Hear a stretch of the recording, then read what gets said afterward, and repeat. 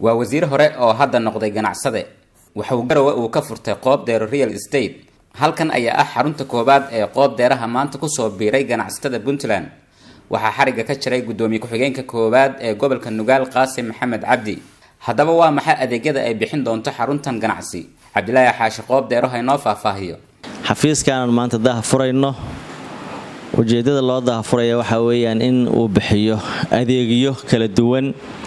Adeegyadaas uu bixinaya waxaa uga horreeya iibinta dhulka iibinta guryaha iibinta baabuurta kireynta guryaha kireynta guryaha goglan oo matal guri goglan baan kuu haynaa. Yurub iyo ameerika iyo ameerika shanta qaaradood meesha aragto ka imow adoo gurigaaga yaqaana ku degay sidii noociisa arkooday ayaad caruurtaada iyo xaaskaaga la imaanaysaa waxaana ku soo dalbanaysaa sistamka online-ka ah oo emailkaiyagu yahay qoobdeero real state qoobdeero real state at gmail com iyo whatsappka iyaga oo lambarada halkaas ku qoranta beelaha ah baad ku soo dalbanaysaa. Marka guryahaasna waanu kuu haynaa waxa kale oo ilaahay duqadarahayo aan kuu samaynaynaa wixii markaas mashaariic qorisa dad aqoon-yahanabaa xafiiska ka tirsan. Marka iyagana waad ugu imaan kartaa inaad maaragtay aad maaragtay aad ugu timaada dokumentiyadaas waxaan rabnaa inaanu ku soo dhoweyno garowe magaalo madaxda puntland. Inaanu ku soo dhoweyno adeegyadan casriga ah inaanu ku soo dhoweyno naqshado cusub oo casriya oo dad bartay ku takhasus ku ah qaabka wax looga naqshadeeyo qaabka guryaha ay u adag yihiin dad ku takhasusay civil engineering ah. Waxyaabahaasoo dhan baa inii haynaa.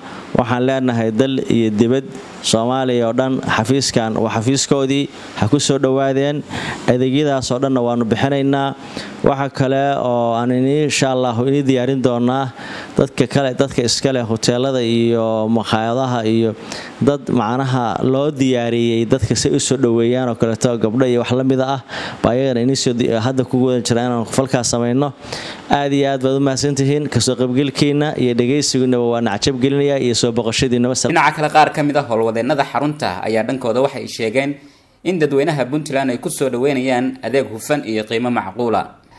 Xafiiska qoobdeero real estate waxyaalahu idiin qaban doono waxaa ugu waaweyn iibinta boosaska guryaha sidoo kale gawaadhida xafiisku sidoo kale wuxuu idiin qaban doonaa naqshadaynta casriga ah. Naqshadaha weligeed naqshada waa la soo samayn jiray. Dalkeenuna gaar ahaan caasimadda puntland garowe. Naqshadaha hadda laga sameeyaay waa naqshado hore. Waxaa anagu soo kordhin doonaa naqshado casri ah oo runtii aad u cusub lana jaan qaadaya standardka caalamka. Naqshadahaas oo runtii looga nasan doona in badan naqshadii hore u jiray indhuhu ku soo daaleen. Sidoo kale qoobdero real estate wuxuu idiin qaban doonaa idiinna fulin doonaa dhismo casri ah oo guryihii hore la dhisan jiray guryahan ahayn oo runtii aad u cusub oo caalamka standardkiisa la jaanqaadi kara baa ladiin soo kordhinayaa. Kusoo dhowaada in leenahay xafiiska qoobdeero real estate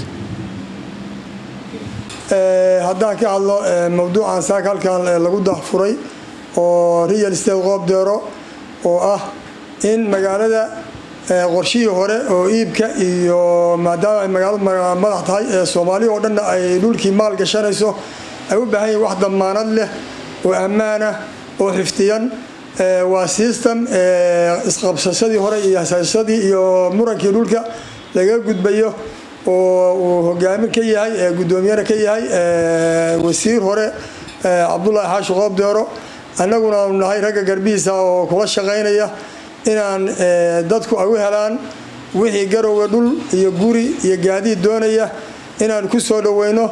Wax ammaana oo ay hubaan ay maal gashadaan oo ay ku kalsoon yihiin boqolkiiba boqol maadaama magaaladan ay tahay magaalo madaxdii ee puntland haddana ay ka sii gudubto aan rajeynayno mustaqbalka inay soomaaliya oo dhan ay xarun u noqoto.